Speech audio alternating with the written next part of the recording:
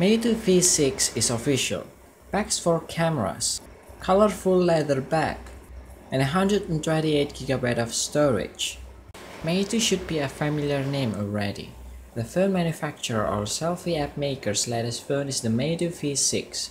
While it maintains the hexagonal design of its predecessor, it is in a class of its own with respect to design and spec. Meitu should be a familiar name already. The phone manufacturer slash selfie app maker's latest phone is the Meitu V6. While it maintains the hexagonal design of its predecessor, it is in a class of its own with respect to design and specs. The Meitu V6 is a luxury device through and through. To the 18K gold rivets on its back and gold-colored metal frame. Let's also not forget it has dual cameras on both sides and 4 LED flash on the rear. In a world where manufacturers are moving towards smaller bezels, Meitu is not scared of making them bigger. The top bezel of the V6 is huge, thanks in part to the dual cameras. The lower bottom doesn't miss out on the size too, as it houses a circular fingerprint scanner.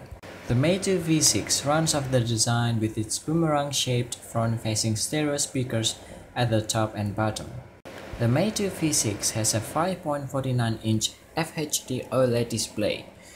It is powered by an unspecified processor clocked at 2.8 GHz and comes with either 4GB or 6GB of RAM. Storage is 128GB on both variants. The V6 packs 4 cameras in total, 2 on each side. The primary sensor on both sides is the Sony IMX362 with a 1.8 aperture, 6P lens, 4th gen dual ISPs, and OIS. The secondary cameras are 5 megapixel sensors for capturing depth of field information for portrait images. While the front doesn't have its own LED flash, Sensors on the back are flanked by dual LED flash on each side.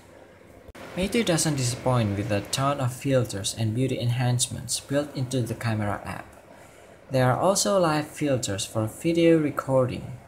Since this is a camera-centric phone, it is easy to understand why it has 128GB of storage.